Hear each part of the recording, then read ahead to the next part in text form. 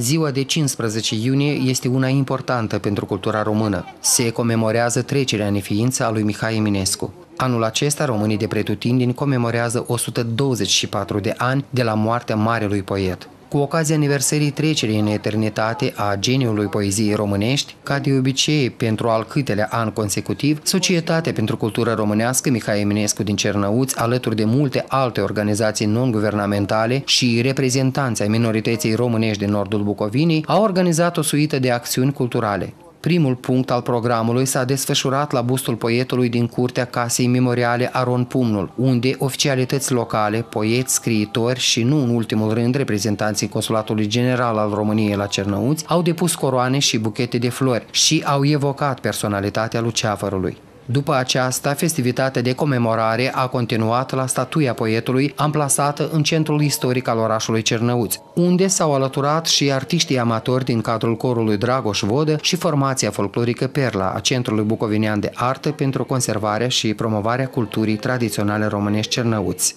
Aș spune eu, punctul culminant care va avea loc astăzi este dezvelirea bustului Mihai Minescu în uh, orășelul uh, Hliboca. Ne bucură faptul că ne-a onorat cu prezența în afară de românii din nordul Bucovinii, din uh, orașul Cernăuți, din satele apropiate, ne-a onorat cu prezența delegației prietenii noștri din Botoșani, Suceava, Vatra Dornii, Târgoviște, care tradițional sunt cu noi, fac eforturi pentru a îl comemora, comemora împreună pe Marele Eminescu. Consulatul General al României la Cernăuți resimte o mare bucurie atunci când vede că românii, sprijiniți de autoritățile locale din regiunea Cernăuți,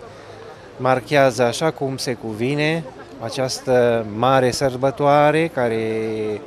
este trecerea pe tărâmul veșnic al poeziei ai, al celui mai mare creator,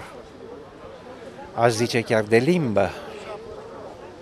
și de poezie și proza, să nu uităm,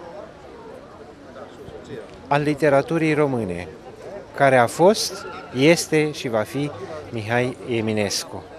Printre cei care au ținut să aducă un omagiu marelui poet s-au numărat și oficialități locale din cadrul administrației regionale de stat, primăriei orașului Cernăuți, oameni de cultură, pedagogi, copii, lideri ai asociațiilor românești din regiune, jurnaliști, profesori universitari, care ne-au comunicat cum au comemorat memoria marelui poet, studenții de la Catedra de Limbă și Literatură Română și Clasică a Facultății de Filologie a Universității Naționale din Cernăuți.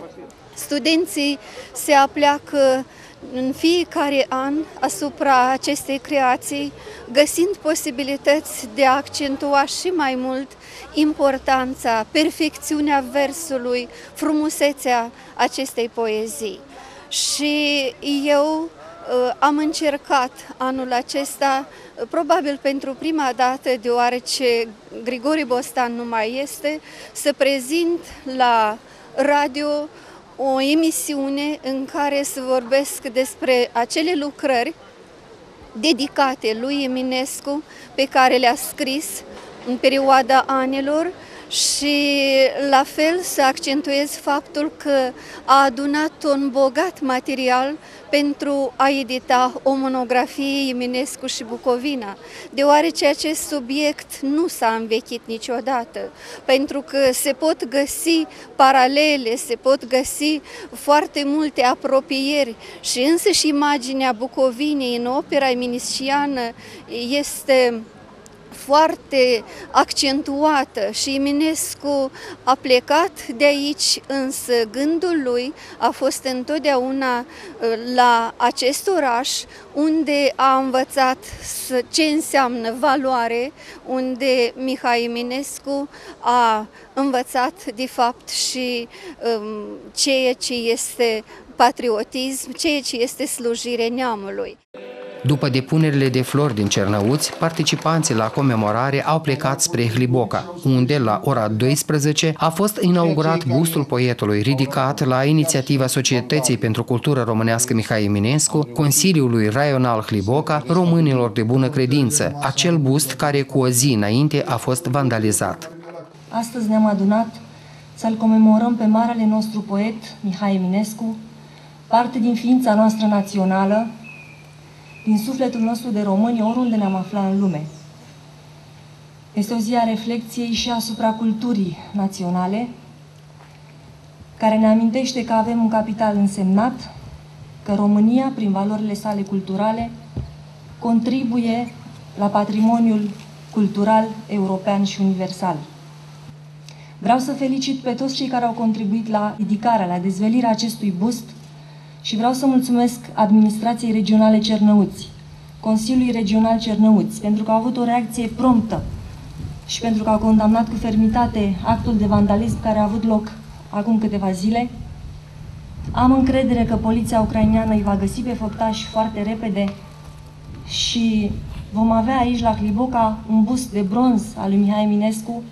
așa cum merită, în care în fiecare an ne vom aduna și vom depune flori. S-a reușit finalizarea acestei lucrări pentru sărbătoarea românilor din nordul Bucovinei, din spusele inițiatorilor cu depășirea multor probleme și obstacole birocratice. Astăzi însă au răsunat doar cuvinte de mulțumire și recunoștință pentru cei care au pus umărul la instalarea bustului. Am trăit cu emoții, desigur, dezvelirea unui monument al poetului eh, național. Ni se, ne place nouă să spunem. De fapt, el este un reprezentant al culturii universale. Aici la Hliboca, într-o zonă în care există suflet românesc și există dorința de a respecta valorile, indiferent din ce națiune se ridică acestea. Și faptul că s-a făcut efortul pentru ca acest bus să se ridice, asta înseamnă că în continuare trăitorii de pe aceste meleaguri doresc și prin prin acest simbol să, să păstreze ceea ce o națiune are mai deosebit. De asemenea, pe tot parcursul zilei au fost organizate acțiuni culturale atât în capitala Bucovinii, cât și în alte localități din regiune dedicate patriarhului poeziei românești. Tatălui și al Fiului și al Sfântului Doamne.